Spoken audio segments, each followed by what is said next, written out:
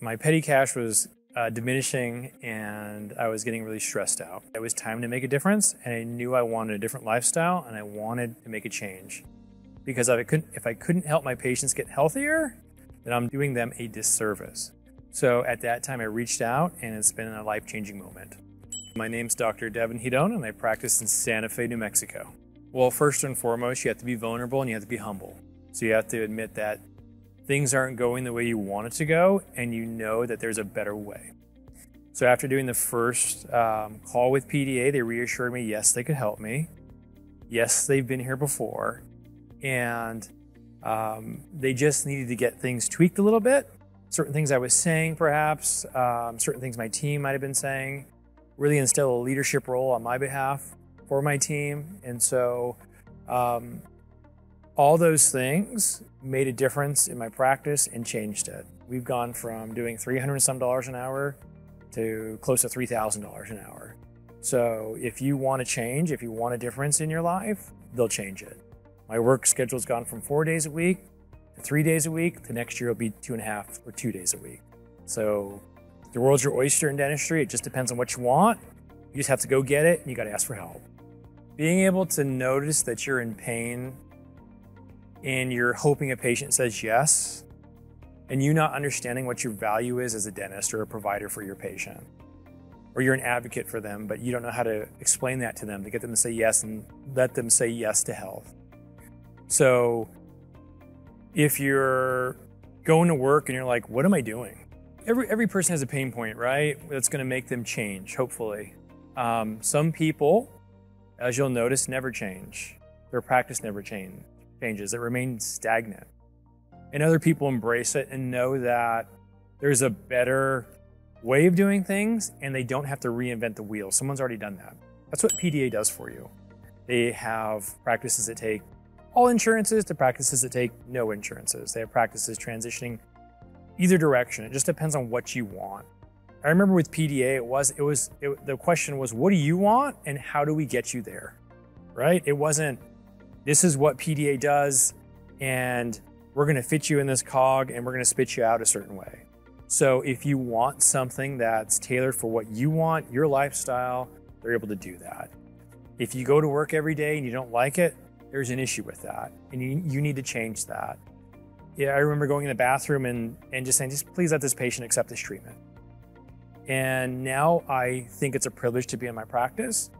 Now I think it's a privilege to be able to work with the, the, the staff that I work with. It's a completely different dynamic. And the ecosystem that we've curated is a direct result of PDA and what they can do for your practice. So if you're thinking about it, it's called stop thinking and just start doing. And um, 99% of us are thinking about it. We're always the smartest person in the room. And unfortunately, that mentality in dentistry is going to get you nowhere. It's going to get you the results that you've been getting. If you want to get to the next level, you need help. You need to be humbled.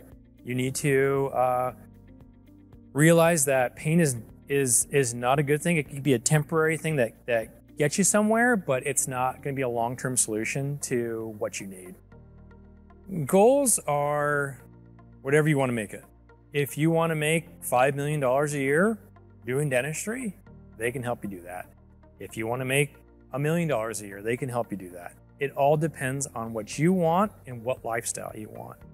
Right now, I'm in the phase, my wife's a dentist. We have three children. We are trying to spend as much time forming our children or, or giving our children values that we want and that we want to um, instill in them. And so that's our goal right now. That's that's where we are in life. I was talking to Dennis this uh, yesterday. Different lifestyle. They're in their legacy piece now. They want to leave a legacy for their staff, their children, their grandchildren. I'm not in that phase right now. And so knowing what you want out of your life right now is key. And PDA really wants to know what that is. And they know that they need to become they need to remain flexible for whatever you want. When we started with PDA, it was just getting patients to say yes. I wanted a patient to say yes to an MO composite, right? And so you're you're your goal of being able to to do that that's a pretty small goal but it's it's a big um, big step when you're initially starting off right so pda gave me the principles to be able to go in there confidently and provide my patient with the best care possible because you can be the best dentist in the world but if you can't communicate to a patient why something is needed you will never get to do the dentistry that you're supposed to do and you're never going to get to do the dentistry that the patient deserves. So PDA is very um, instrumental in helping you help your patients, right? So it's baby steps for some people like me, and it's leaps and bounds for other providers. You might be a leaps and bounds person. I'm a baby step person. But your life is made of all these small decisions every single day and if you don't make those small decisions every single day to get better with your practice, you're never going to get what you want. PDA has uh, helped me immensely. I remember talking to Bruce one time. I said, "You don't understand what you've done for me. You've changed my career path. You've trained. You've changed um, who I am, or who I, how I see myself." And I think he was taken aback by that, and that's okay but you, you do have the ability to affect patients' life, staff's life, your own life, and make a lifestyle that's good for you. PDA really takes a deep dive in your practice and can tell you pretty quickly where you're where um, there are opportunities to grow and where you're already kicking butt. So in my particular case, PDA was good at just getting me to say, "Hey, how are you, Jim? It's nice to meet you. Um, let's get you scheduled for the next appointment. That's the confidence I needed.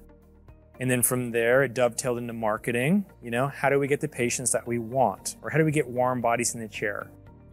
Then the marketing team turned into how do we get the specific patient that you want, the type of dentistry that you want to do on a certain a demographic into your chair? How do you get to do that?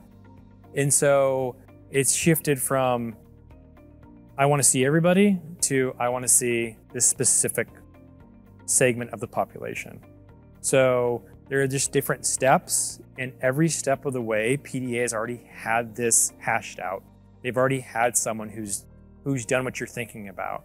So if it's from dropping insurances, which we've done, we're a completely fee for service office, to um, marketing a certain demographic, to how do you talk to your patient? just basic stuff.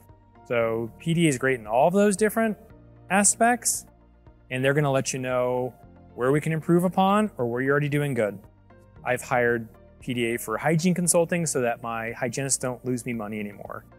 Right? I'm not looking for them to make me an exorbitant amount of money. I just want them to not lose me money. If you ask a dentist, hey, what is your hygienist doing an hour? Most of them will, won't know. How much is a hygienist losing you an hour? Most of your patient, most of dentists won't know. And so I think just understanding what your metrics are, where your numbers are, you have a goal, you're not driving in the dark, PDA can help you with that. They're not going to solve all your problems because you have to do the hard work. But um, at the end of the day, you need to know where you're going. You need a map for that, and PDA does that. I think sometimes you don't realize, for me, I knew I needed help. But for the majority of our colleagues, we don't know we need help. And we think that taking every insurance plan is a solution or adding another treatment option like sleep apnea or something else to our clinical expertise is a solution to a bigger problem. And it's not knowing how to run a business and it's not knowing how to communicate. And if you can't admit that to yourself, you will continue to spin your wheels trying to figure this out on your own. Yes, you can figure this out on your own by going to Dental Town or going to a Facebook page and doing all that stuff. But the amount of time and the amount of effort you're going to have to put towards doing this isn't worth it. There are better ways. People have already built a path for you. You don't have to do this on your own. Um, and it's just as I mentioned earlier, it's about being humble and understanding you don't have all the answers. You can expedite the process a lot quicker if you ask for help. And there are plenty of mentors out there in PDA that will help you and guide you on whatever you want. whether it's dropping insurance, building a empire, having multiple practices, they've done it. So don't you don't have to pave the way yourself. It's already been done.